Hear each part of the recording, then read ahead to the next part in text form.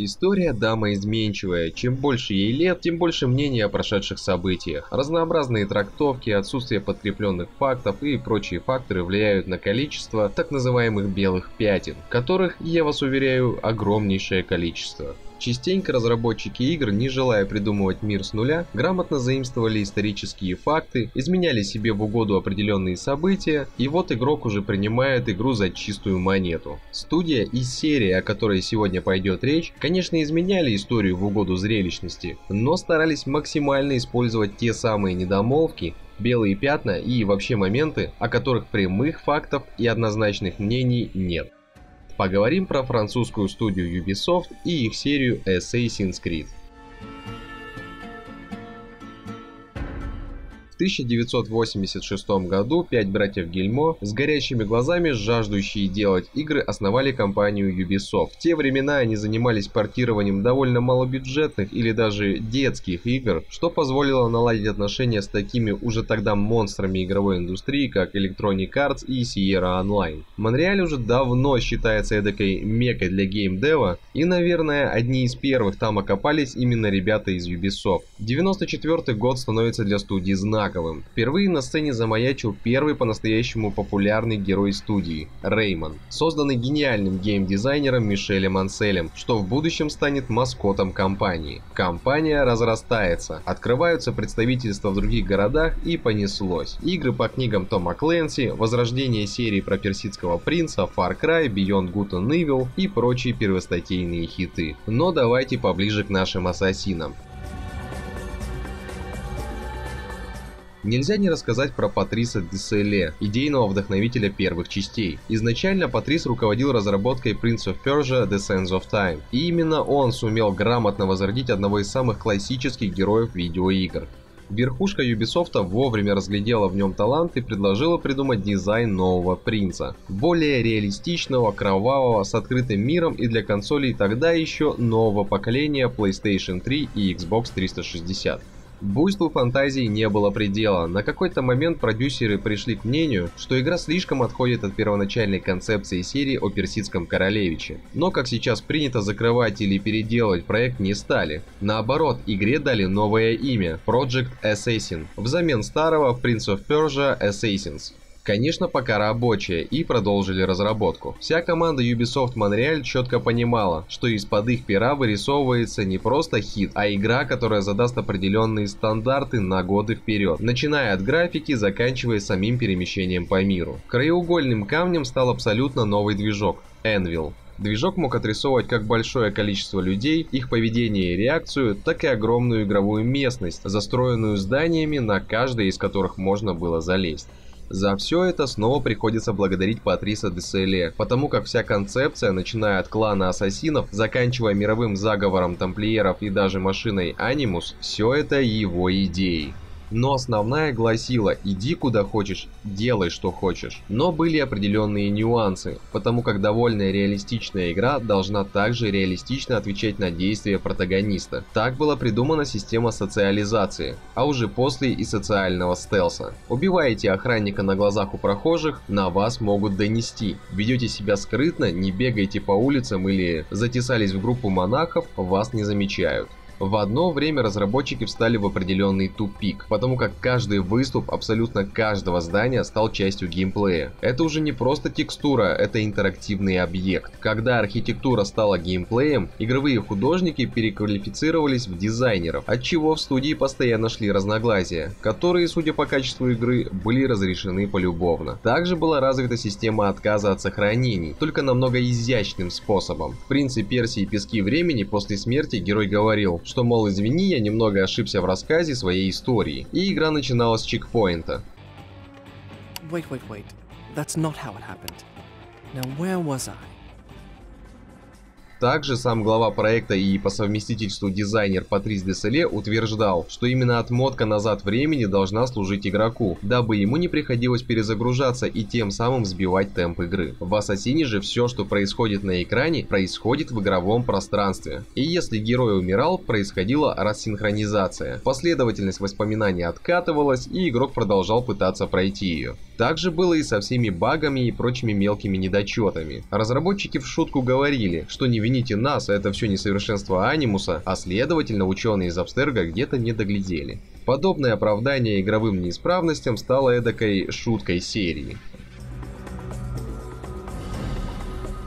Действие первой игры происходило одновременно на Святой Земле и в наше время, то бишь 2007 год. Главный герой Дезмонд Майлз, который был похищен некой организацией Абстерга и помещен в машину Анимус, которая позволяет объекту, то есть Дезмонду, переживать воспоминания своих предков, одним из которых и является Альтаир, который служит Ордену Ассасинов во времена Третьего Крестового Похода, в котором не последнюю роль сыграл крестоносец Ричард I, более известный как Львиное Сердце или даже Король Англии. Альтаир Альтаир, ведомый тем самым кредом ассасина, слепо до определенного момента подчиняется приказам своего наставника, мастера-ассасина Аль-Муалима. Сюжеты дают резкий крен, когда вскрывается история про яблоко Эдема, артефакт, наделяющий своего хозяина практически безграничной властью. По некоторым сведениям, именно с его помощью Моисей раздвинул море, а Иисус превращал воду в вино. В конце игры Альтаир узнает, что яблоко это не единственное. В наше же время заговоры, интриги, предательства. Дезмонду удается удается сбежать, узнать всю правду об Абстерго и примкнуть к эдакому сопротивлению. Конечно, это только очень-очень краткий пересказ более-менее основных событий игры дабы, сами понимаете, избежать спойлеров. Все-таки атмосфера, сюжет и сам сеттинг игры – неоспоримое достоинство игры. Помимо всем известного Assassin's Creed, что вышел в 2007 году, планировался одновременный выпуск еще одной игры в линейке про ассасинов, на нынешнее, на тот момент поколение PlayStation 2 и Xbox. Планировалось, что игры будут отличаться не только главными героями, но и местностью, городами и даже сюжетно дополнять друг друга, что заставило бы игрока, которому понравилась одна игра, прикупить и другую. Ведь до следующей полновесной части Assassin's Creed было еще непонятно сколько ждать. Собственно, этот второй проект так и не вышел, и так и остался своеобразным слухом. Да и сами Ubisoft, скорее всего, просто перекинули освободившихся людей на допилку похождений Альтаира. Покойся с миром. Ты заплатишь. Вы все заплатите потому как в 2007 году, особенно в ноябре, на консолях детища Ubisoft Montreal ждала конкуренция с такими монстрами, как Mass Effect, Halo 2 и Call of Duty Modern Warfare. Да, репутация DSLA, Ubisoft и их обещания тогда были у всех на слуху, но не все были уверены, что игра оправдает ожиданий и правда произведет революцию, которую уже не первый год ждали геймеры на консолях PlayStation 3 и Xbox 360. За музыку был ответственен Джаспер Кит. Тогда еще композиторы игровых саундтреков не были такими уж значимыми фигурами в индустрии электронных развлечений. Но мастерство Джаспера было видно невооруженным глазом. И в достоинство игре также приписывали звуковое сопровождение. Сам Джаспер не раз упоминал, что проходя кастинг, не сильно надеялся, что сможет подойти. Но Джейд Реймонд и Патрис Деселе были иного мнения. С этого момента Джаспер Кит стал практически неизменным композитором следующих частей, и быть может его лучшая работа как раз и была связана с данной серией. После релиза опасения оправдались но отчасти. Первые оценки были смешанные, одни ставили высший, другие низший балл. Истина, как обычно, оказалась где-то между. Все рецензенты правы в определенных аспектах. Хвалили грамотную систему перемещения, смешанную с паркуром, графику, управление и анимацию. Снижали же оценку за повторяющиеся миссии, однообразный геймплей и в целом за все, что было затянуто и, как сейчас модно говорить, репетитивный геймплей. По сути, чтобы получить именно интересную миссию по убийству одного из тамплиеров, приходилось выполнять абсолютно нудные и повторяющиеся миссии. Сами понимаете, такое нехило сбивало темп игры. Все это было объективно, так же как и то, что Ubisoft нащупали очень правильную игровую комбинацию информацию, что-то вроде собственной GTA, к идеальной формуле которой они еще не один год будут идти. Как водится, такой амбициозный проект вышел в конце года, так же как уже упомянутые выше конкуренты. В общем, несмотря на довольно неплохие оценки, игроки могли просто не рисковать и закупиться проверенными брендами. Однако оказалось, что запас доверия к французам не кончился. Первый месяц игра разошлась тиражом 2,5 миллиона копий, а всего на данный момент продано свыше 8.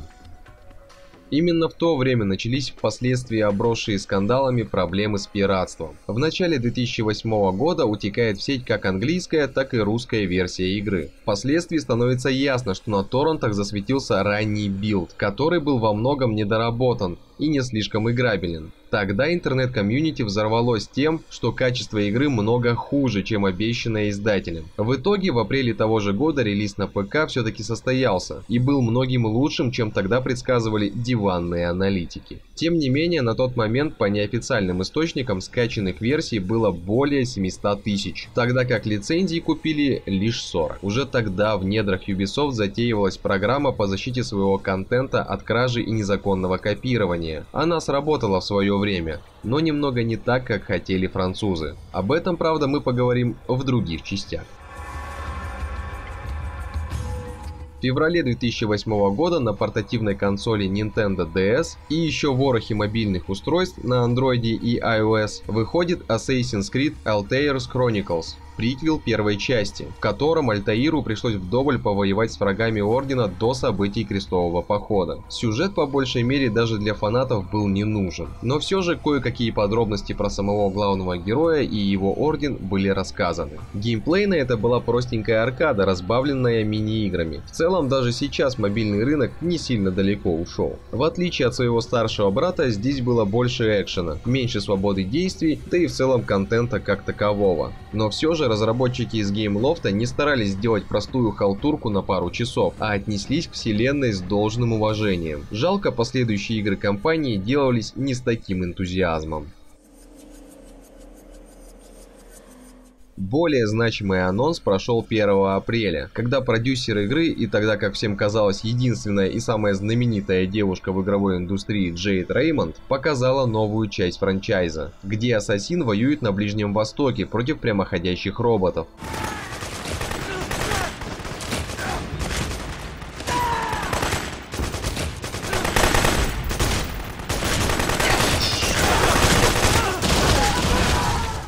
Конечно, фанаты серии МГС сразу все поняли. Остальным объяснили, что все это первоапрельская шутка. Но когда четвертая часть злоключений Солида Снейка все-таки вышла в свет, робу Ассасина можно было на себя примерить, что уже было настоящим признанием от самого Хидео Кадзимы, создателя серии Metal Gear Solid. Потому как к тому времени Ассасин стал эдакой первой игрой по-настоящему нового поколения.